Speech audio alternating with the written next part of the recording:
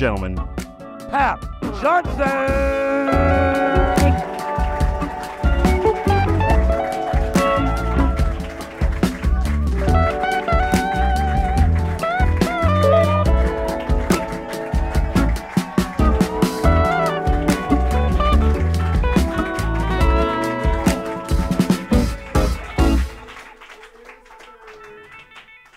Hello, white people.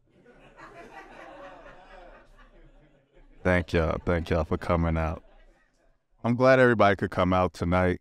You know, after the pandemic, I didn't know if we were going to get, you know, stand up back. I didn't know if we are going to get a lot of shit back, you know. We lost so much, like public God bless yous.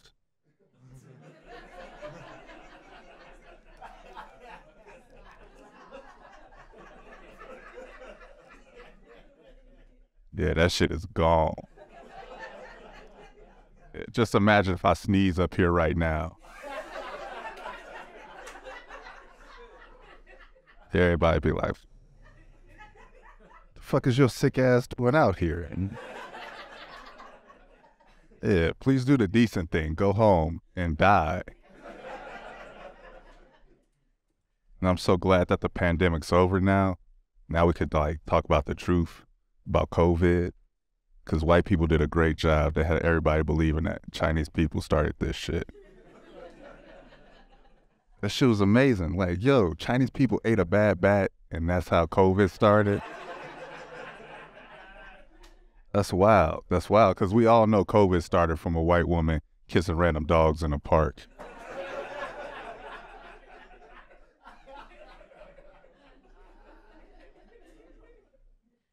I'm tall. People tell me this shit every day of my life as if I've never seen myself before. Yeah, it's fucking stupid. Because everybody assumes that being tall is all rainbows and white women. And it is. It is.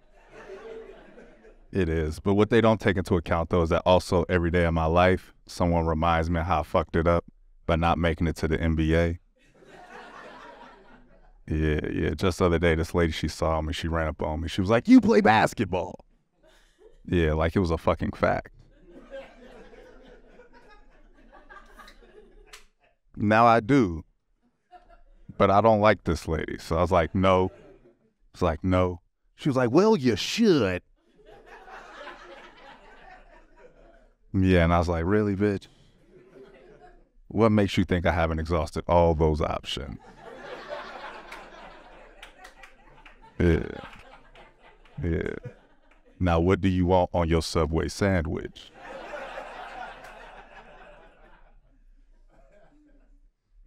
That's why I like comedy, because y'all respect me when I do this shit.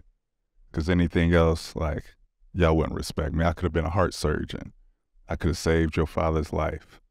Come out there, you know, after 82 hours of surgery in the waiting room, like, hey, man, you're going to be fishing with your pops in no time you would still look at me and be like, but can you dunk?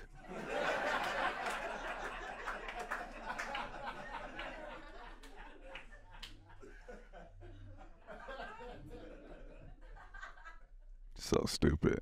The dumbest thing that ever happened to me though was uh, I was walking down the street and a homeless guy, he was sitting in a flower pot. He saw me. Yeah. Fucking lost his mind. Yeah, yeah. He was like, hey, young brother, hey, young brother. I can't wait till you bring some school a championship. yeah, and I was like, mm, Nick, I'm 30. Yeah. And he was like, oh, and I was like, don't you dare be disappointed about how my life turned out.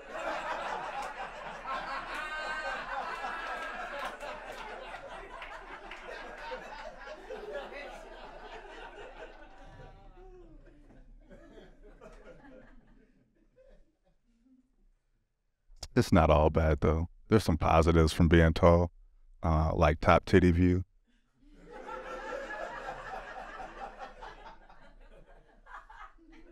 the best thing that ever happened to me from being tall was uh, I was a victim of positive racism. Y'all white people should try it. I was at the basketball courts naturally, and um, yeah, yeah. And this, I was just waiting to get on the court, and this old white guy, he ran up on me. He was like, "You're on my team."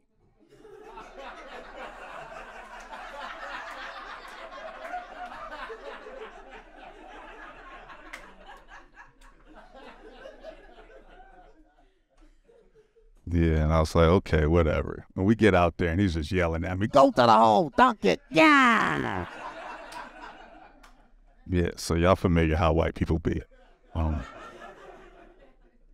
and I started getting upset, and then it hit me. I was like, oh shit, he thinks I'm LeBron James. Yeah, and it made me play harder. Yeah, because this motherfucker was really old. Like, he had a lot of loose skin. Yeah.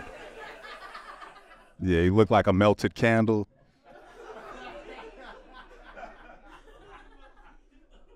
Yeah, so I was like, okay, it's up to LeBron James to bring him his last championship because this would show his last game. Um,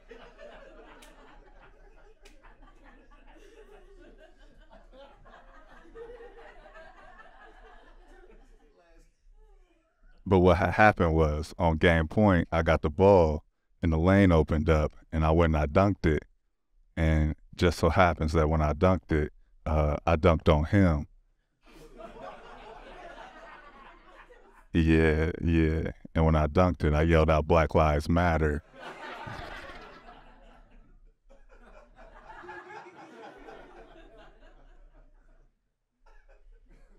And like I said, he was very old, so when I dunked it, he just started crisping away like one of them niggas in Infinity War.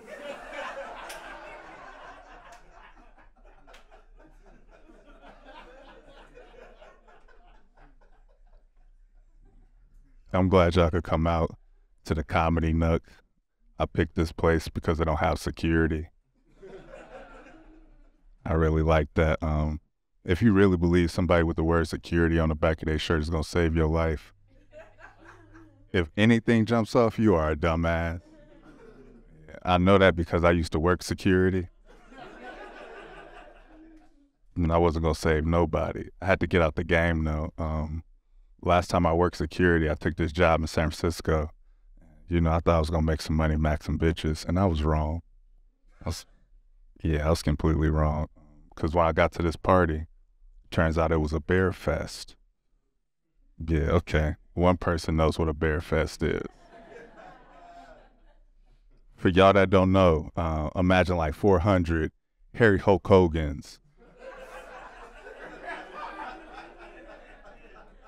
Yeah, dancing with each other in leather thongs. It was, yeah, having a gay old time. It was, it's beautiful. It was beautiful.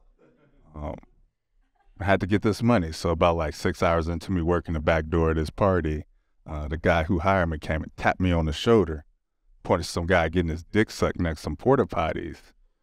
Yeah, and was like, "Tell them to stop."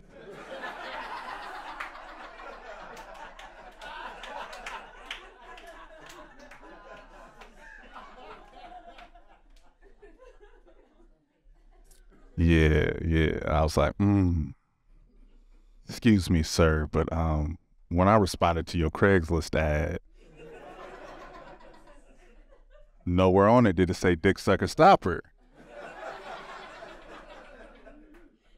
Yeah, I quit on the spot, you know? I got morals. You're not gonna make me no professional cock blocker. Also I just understood. I was like, yo, like as a man, how much game you gotta have in order to talk somebody into sucking your dick. Yeah, yeah. At a day party.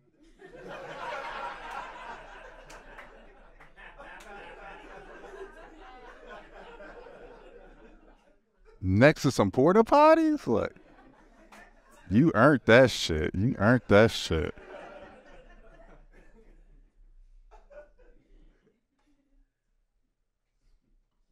Speaking of security, uh, Joe Biden fell off a bike.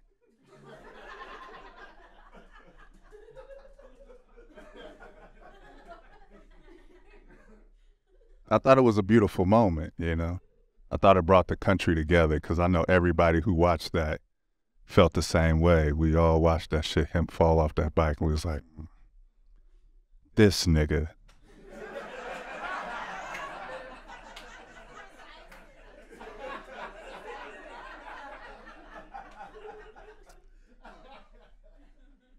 Now Trump, he might get arrested. But I heard that's a good thing because I heard he gonna get traded for Brittney Griner.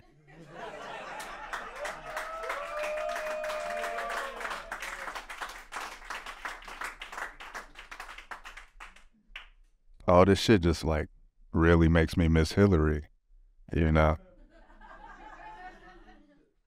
It makes me miss Hillary. I feel like we fucked up.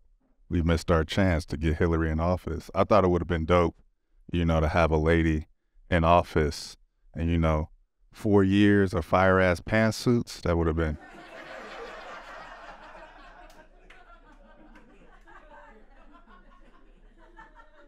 Like, could you imagine a president that dresses like Steve Harvey? Oh my God.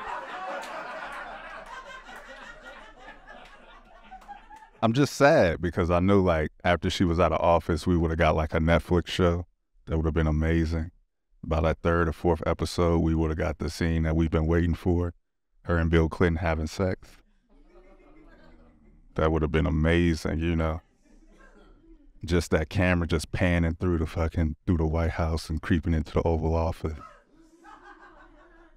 And you just see Hillary pegging the shit out of Bill Clinton.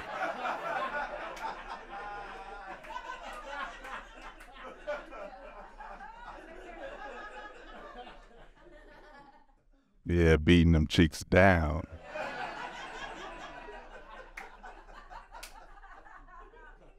you know, long, hard strokes, you know.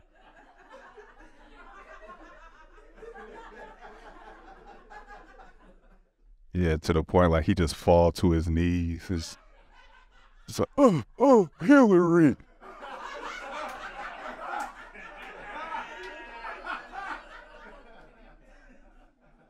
Yeah, she just grabs him by the head. Call me Monica. shoves a dick down his throat. Yeah, and that's how Bill Clinton dies.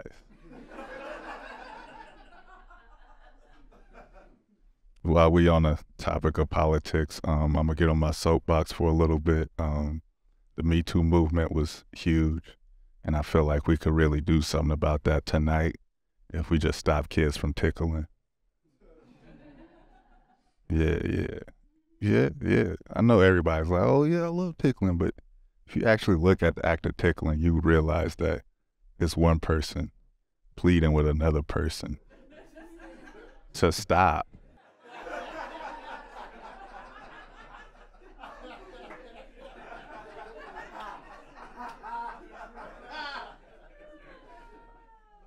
Yeah, it's the it's the gateway drug to harassment. So Next time you see a kid tickle another kid, you know, you punch that motherfucker in the face for humanity's sake. Also, I hate kids. I be hating on babies. Nah, nah, I got I got beef with these motherfuckers. Um, I actually got kicked out of a, a birthday party for a child the other day. Um, my friend, he got a baby, he was like, "Yo, bring a gift." bring a gift. I was like, okay, well, you know, you my man. I'm gonna bring your child a gift. Um, so I brought it uh, a baby bottle of Hennessy. also, I was like, nigga, you my friend, like not this motherfucker, like.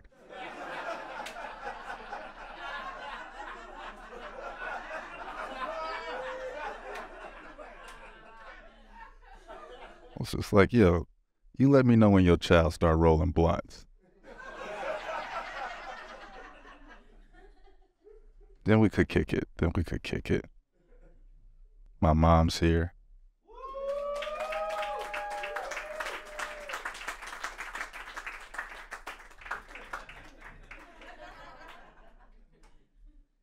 She's a lifesaver, you know, because my father was very hard on me.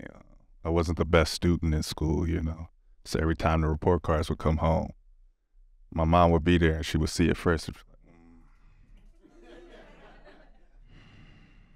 You just wait till your father gets home. Yeah, and then she would go in the other room and she'd put on a mustache.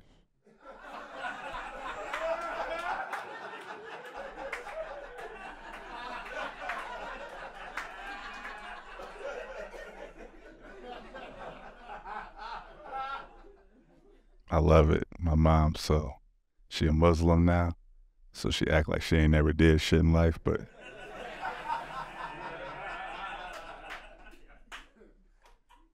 but we from DB East Oakland in the 80s. So I'm like, yeah, I know you sold a lot of drugs.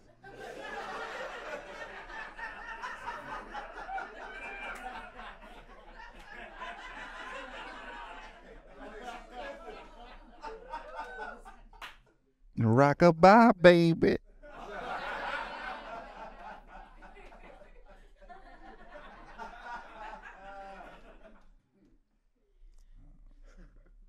Yeah, she always telling me and my my lady to have uh have kids. I'm like, nah, nah, Uh, uh, mm-mm, mm-mm. Not trying to do that shit.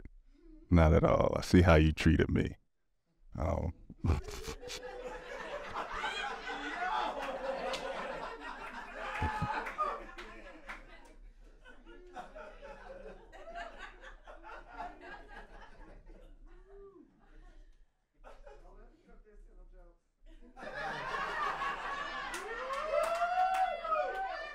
Yeah, you see what I've been dealing with this whole time. See what I've been dealing with this whole time. Yeah, so that's why I don't be having morning sex, you know, because of her. Because that's when that's when it's fertile.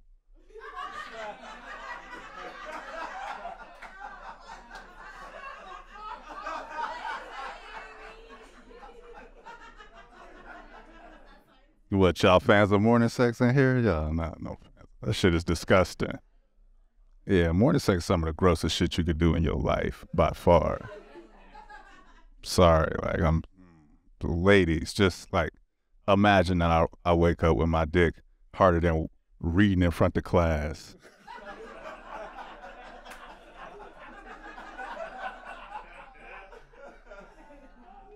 And I see you, you know, with your hair all fucked up.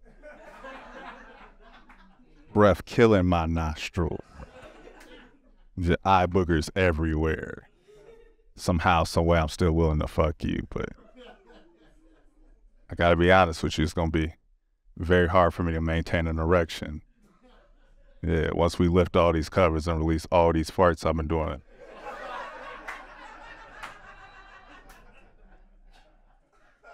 You know, that's not the sex I wanna have, you know?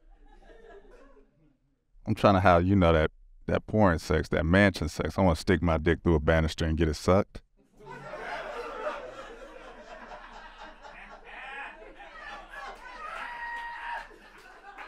Yeah, that shit looks fun. That shit looks fun. Yeah. Trying to live out my fantasies. I'm trying to be loud with this shit, you know. I'm trying to, you know. I'm a Dr. Bo. I'm a Dr. Bo.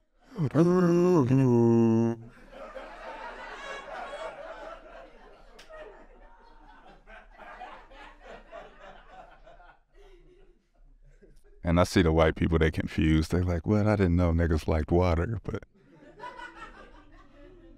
since y'all allies, I'm gonna let y'all in on something. Uh, black people, we love boats, we love water. Um, the only issue is that um, we don't like getting on other people's boats. yeah, yeah, yeah. There was this one time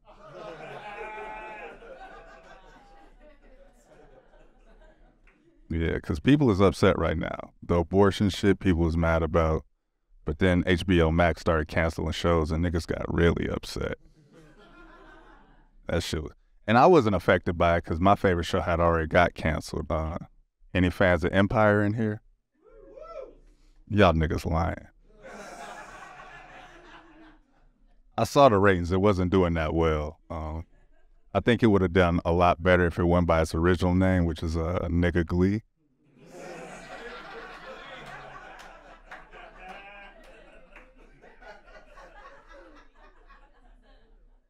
Yeah, yeah. I mean, I know it's a controversial title, but just imagine you scrolling through the channels at home and nigga Glee pops up. Yeah, you're gonna be appalled for like the first five seconds. Then that little voice in the back of your head is gonna be like, what are those niggas up to?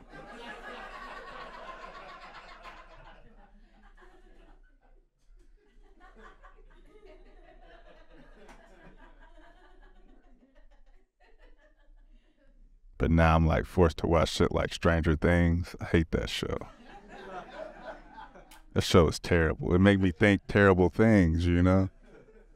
I'm just watching this little black kid and his white friends.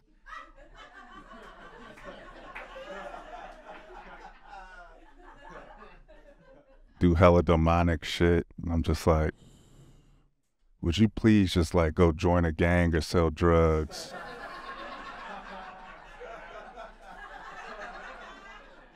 you know, something safe. Something safe. They're like, nigga, you don't got no cousins? Where your cousins at?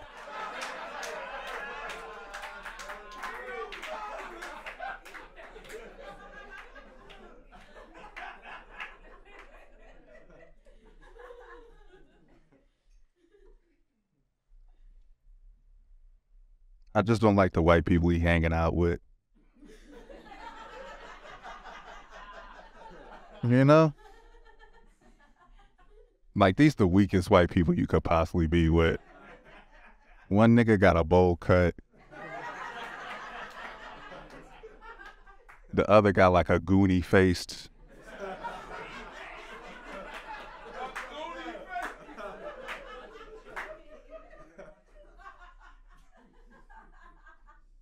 You know, I've been I've been hanging out with white people because I've been trying to like get the hang of being famous. It's pretty wild. It's pretty wild. I was with this white woman uh, the other day, and my boy, he saw me. He just fucking went off. He's like, "Oh shit, Papp, you got a white bitch."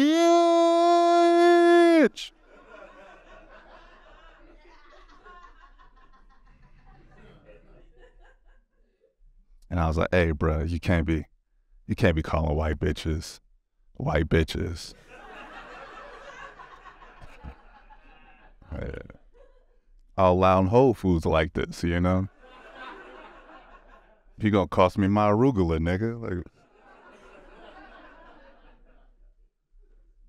and it was funny because like while we were saying that, she was just like, uh uh, uh uh, uh uh, I'm not white. I'm Nicaraguan. Yeah, yeah.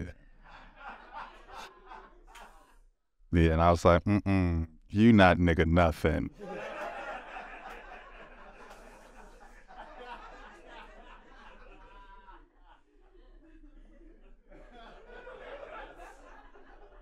It's crazy because like everybody wants to say the N word, and only people I like really accept it for is Asian people. Yeah, yeah. Asian people can say nigga around me all they want to.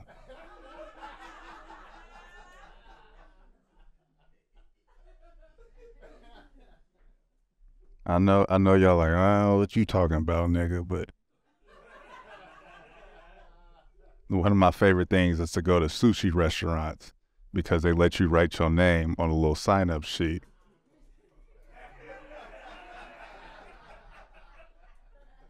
And I'm an asshole, so you know, I always write them niggas.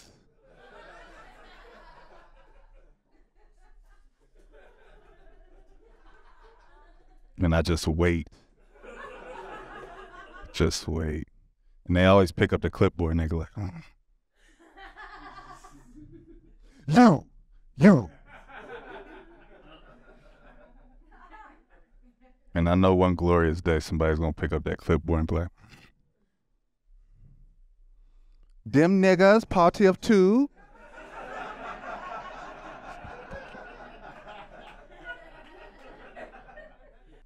I've been in New York for like two years, and I knew I had missed LA because I started missing Scientologists.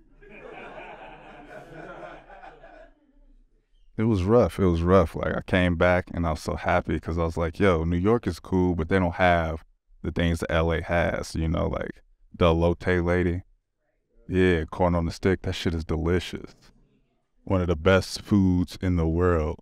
Um, my only issue with corn on the stick is that every lady that sells corn on the stick looks like that bitch that killed Selena.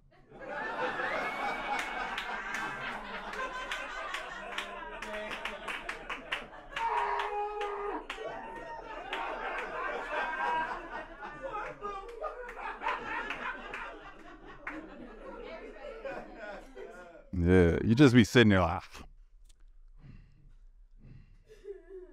you dirty bitch.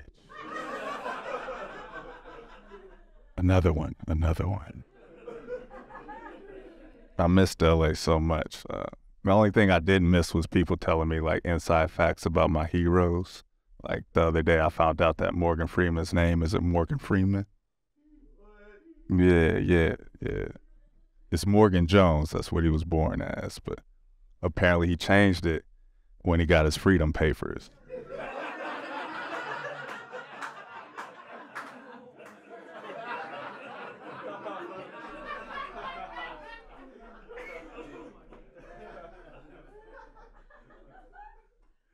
Yeah. Yeah, they were like, Morgan, you are a free man. He was like, Yes, I am. And then I walked down that gravelly road all the way to Tinseltown.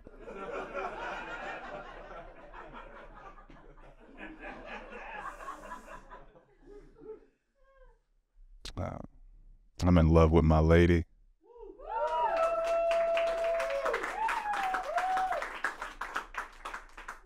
Yeah, yeah. I I know the moment that I fell in love with her. Um, I sat her down. I was like, "Hey, you know, I really like you, so I got to tell you this. Is my biggest insecurity. I got head ripples."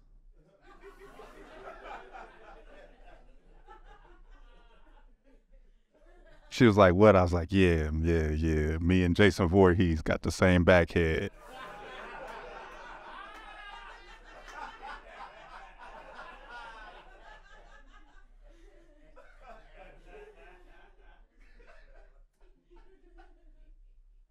Yeah, and she she was like, "It's okay, baby. I still love you." And I said, "Oh, thank God," because I've been scarred. Because like one time, uh, I was hooping with my boy, and we was running the courts, and I was like, "Hey, bro, I gotta cut out. I gotta get ready for this show." He was like, "What?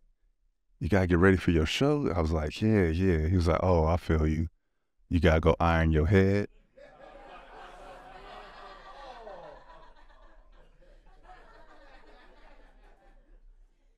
But you know, I found a lady to accept me, so now I got that off my bucket list.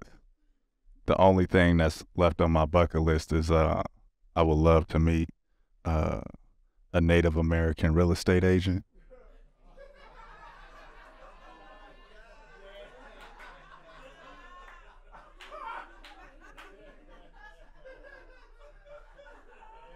Well, I've been amazing.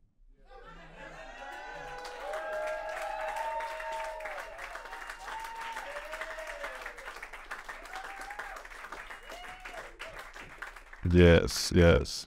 And if you liked me, if you loved me, I'll be signing titties by the bar. I've been Papp Johnson. Have a good night.